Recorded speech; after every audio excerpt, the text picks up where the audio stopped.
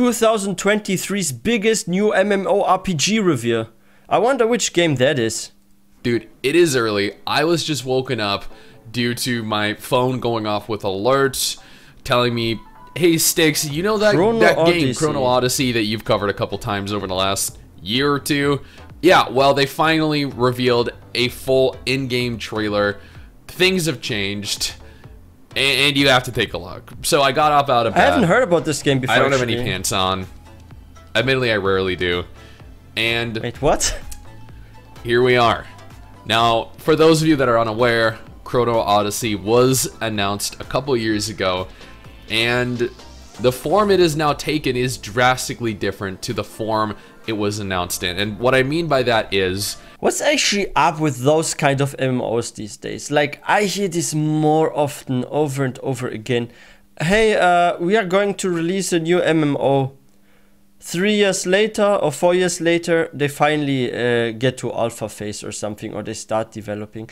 Like, what's happening with the gaming industry? Like, back in the day, they announced something. One year later, they start like fully working on it, and in two years after the announcements, you, you, announcement, you have like the alpha, sometimes even already the beta phase.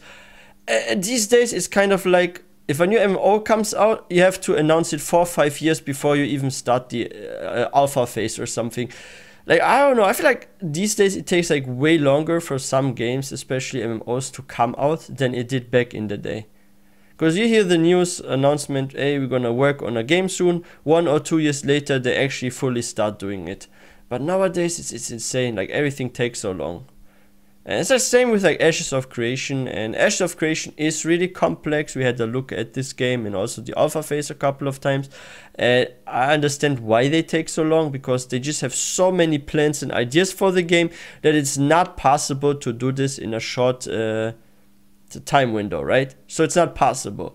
But like, I feel like all those MMOs these days want this. Like, we want the perfect game, we want this and that. You know what? Um, yeah, we're gonna develop this game, but it's gonna take like seven, eight years or something.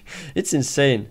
taken is drastically different to the form it was announced in. And what I mean by that is this is a game that was announced by the same studio that developed Gran Saga. Gran Saga is a PC mobile cross-platform MMO. Chrono Odyssey was announced years ago as a mobile PC cross-platform Oh, MMO no. as well. But over the last couple years, they have overhauled that, removed the mobile crossplay functionality, and Nice. instead changed the direction of the game PC only and so console. that it is now PC and console Perfect. cross-platform. There is no mobile functionality.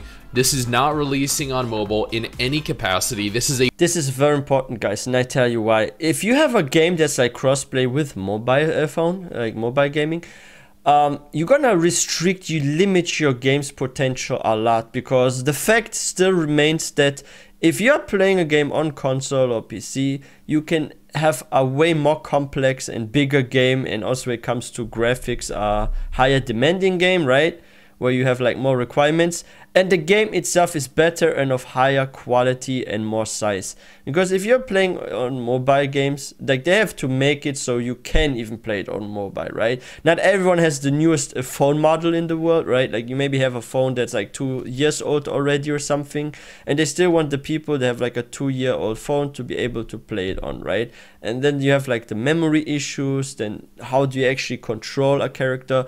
And i've noticed something when it comes to MMOs uh, and and combat on mobile so in WoW, for example, you have like a lot of skills. Like I have all my numbers on my keyboard full with skills from like one, two, three, four, five, and then I still have like the CTRL uh, bar, the shift bar, and everything.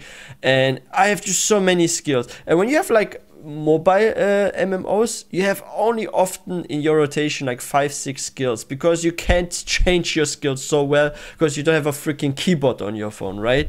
So you get like fewer abilities and stuff. So I love um, MMOs that are for PC. If they are for console, it's okay because it's way easier to use multiple and more skills on the controller than it is on the phone still. on mobile in any capacity. This is a full quality PC console MMO. And I am incredibly excited for that because mobile functionality promises a very certain type of quality. Now, the first trailer True. was released years ago and was very pre-rendered, didn't really show much in terms of the game. However, as of 47 minutes ago, yes, I am really that dedicated to covering MMOs. The official YouTube channel and the PlayStation channel, IGN, everywhere have covered this game. Before we go any further, I just want to take a moment here to thank all of our incredible patrons. You guys allow me to continue to play games like this for a living, and I can never truly repay that kindness. Also, if you're interested, I stream over on Twitch every single weekend. You should totally come on over and join me. Okay, so it's a gameplay trailer of Chrono Odyssey. The world looks nice, gives me a lot of the Rings feelings, right? Again, this is not their first MMO. Gran Saga actually made headlines and set records in Korea for a cross-platform MMO. Gran Saga ultimately ended up being Wow. one of, if not the highest quality, most active, highest grossing Korean Wow, cross-platform look at the MMO. grass. So that should speak volumes about this game. Wow. It uh, and admittedly, this immediately kind of has a striking resemblance. Is it is it just me or do you guys also feel like that? If, if you look at like um, like the MMOs made by Korean companies, they want always like especially like the natural environment, like the nature and everything to look so smooth and very very well. Like look at this. Like I get also a very nice feeling when I look at like BDO, right? And like the world there, but I feel like they really like care about a beautiful game a lot in, in Korea. Like they want their games to be as beautiful as possible when you're exploring and the plans to look quite realistic. And I really love this about uh, Korean gaming companies because they really pay like a lot of atten- attention to even small details. Like look at those tiny leaves here. Like out of like if you look at like Western gaming companies, like sure they make also stuff look nice, but they won't go uh, as much into detail. Like the only exception so far I've like really seen right now is like the Intrepid Studios with like Ashes of Creation because they're on a level where it comes to like the world and like the nature and everything uh, with like uh, Korean companies. But yeah, they have like so much love for detail. Like, look at this, so beautiful. So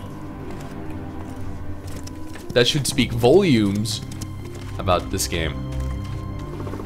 It uh, and admittedly, this immediately kind of has a striking resemblance to ArcheAge and Black Desert graphically.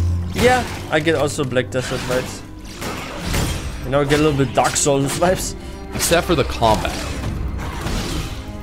If I'm being entirely honest with you, the combat combat looks very eerily similar to Elden Ring.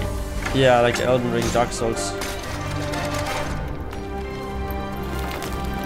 But can such uh, combat function in an MMO? I don't think you can do that. Like Elden Ring combat, sort of, in like an MMO. Wow. Those skeletons look cool. I love that skill. Now we have the Alright. Barbarian or something. So the, I mean, we we still don't see a UI, but at the same time, this isn't a mobile game, so it can't be horrible. But the combat itself looks it looks good. It really does. It doesn't, you know, look It looks to me more like an action game than an actual MMO. Like this looks like an action game, right? Like wh- what is MMO about? Like I don't see a single group here. It's always like single player. Combat looks like in Elden Ring or Dark Souls, and yeah, we don't see an U- UI. I don't even know how many skills you can use. And that was my concern earlier. Like I said, if you have like something that's like cross-platform, like you already restrict a little bit an MMO when you're going for the console direction because on a controller you just have a limited amount of buttons, right? So yeah, you can still have like your eight, nine skills or something that you rotate around, maybe a bit more. Sometimes you have like ten plus. But if if you do this on like mobile, you have to even further limit the skills you use in your rotation or in an MMO. So yeah, but I think it's good still that yeah, it's console PC, but if it's just PC, usually you have like more options when it comes to skills. game, so it can't be horrible. But the combat itself looks it looks good. It really does. Yeah. It doesn't, you know, look overly flashy Wow. like uh, like trailers tend to make the, the combat look. This looks it looks, It looks like a dragon on steroids. and impactful. Like your abilities actually have an impact. Whoa! Got the I think 910 the Foxy slower or kind of what? combat style feels good.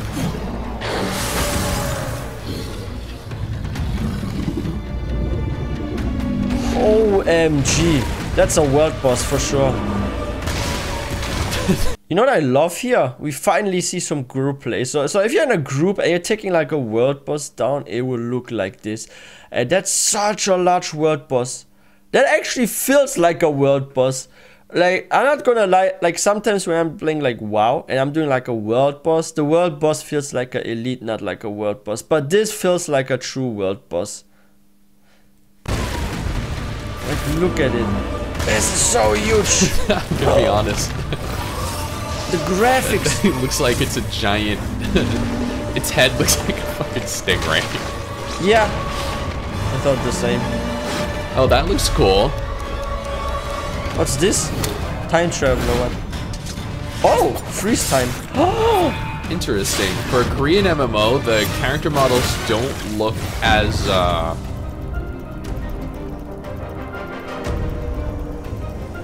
what is this? A vampire? they don't look as As I don't know. Like I half expected them to look like I don't know, genre defining. From Huh? a uh-huh. big because this, this game has has a lot of funding, like more funding than Black Desert. It has more funding But than Black Desert. I'm actually kind of glad that they don't. That they don't have graphics that are better than Black Desert. I'd rather them focus on the game than the combat. I'm already satisfied with the graphics.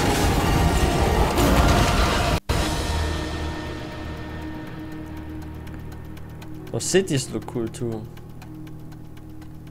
Chrono Odyssey. Admittedly, that looked actually pretty good. Yeah. Now, this is developed by NPixel. They are the studio behind Gran Saga, as I noted. This looks like it's coming out onto Steam, onto That's the good. PS5 and the Xbox Series. Now, navigating on over to their website, it actually doesn't tell us much. It just has a lot of lore Would there be guilds? and history about the game, history about Oh, some lore. various different factions that are present within the game. Now, there is The a, a very large focus with regards to Chrono Odyssey on time. How the game supposedly takes place in a multitude of different timelines, or that you possess the unique ability to travel through time. I don't know what kind of impact that is ultimately going to have on the game. Nevertheless, But that actually is not good, this concept, to be able as a player to travel through time around, right? Because if you're like an MMO and you're like this one guy that has like superpowers, can like travel through time, it makes you like it makes it less feel like an MMO but more like a single player game, right? Like I kind of love being an MMO, some random, I don't know, mercenary or gladiator or mage, like maybe a mage student that's just traveling the world, like honing his skills, getting better and better, and over time becoming strong. Then to be someone that is like the chosen one or something, I don't like this kind of uh, feeling when I start like a new MMO and I'm already like the chosen one with like superpowers. I prefer to like go step by step, like climb the ladder to the top, basically, right? Kind of like that, and yeah, same because like, like like immersion and like group play. If you're like a time traveler it's constantly ta- traveling time, how do you explain meeting other players somewhere in like on a map? Did they also travel in time? They are just there. Like, what's the explanation? That's kind of confusing from a concept uh, point of view, right? Plus, that does provide us with a very, potentially very large world because it is a world set in different times. That could ultimately make the game feel very dead because, Confusing as I well. mean, that is a very grandiose statement to make. That is a very I think simple is better for kind MMOs. of game to create. Chrono Odyssey was originally supposed to come out back in 2022 I do not see a release date on their website. I did not see a release date in their trailer. I wouldn't expect the game to come out in 2023, but given the activity on their Twitter, the fact that they have a full gameplay trailer released. I would expect some kind of test phase to take place in 2023. Maybe they'll surprise us and release it. I don't know.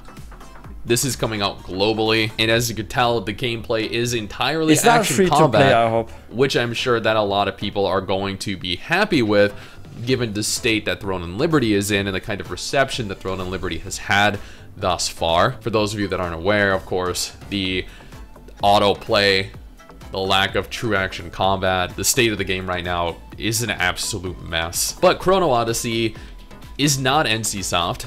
They have a great history releasing games, non-NFT, non-blockchain, so it definitely has potential to possibly be one of 2023 or 2024's biggest surprise hits. Now, if you hmm. want more info on Chrono Odyssey, then stay tuned. I will be continuing to cover this like I do all MMOs. Is it a monthly sub or is it free to play? I got you covered with two different videos on screen right now. One featuring a list of MMOs releasing this month, the other featuring another MMO that I totally think you should take a look at that you might also be interested in.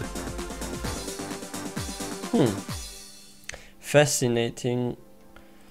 I'm actually wondering if this is going to be for free, like free to play, or is it like with a monthly sub or something? And I'm actually trying to find this out now. Chrono Odyssey. Is it going to be free to play? It doesn't even say that here. Have they not decided yet or what? Uh, see, no, it's not free to play, I think. Ah, okay, that's actually good.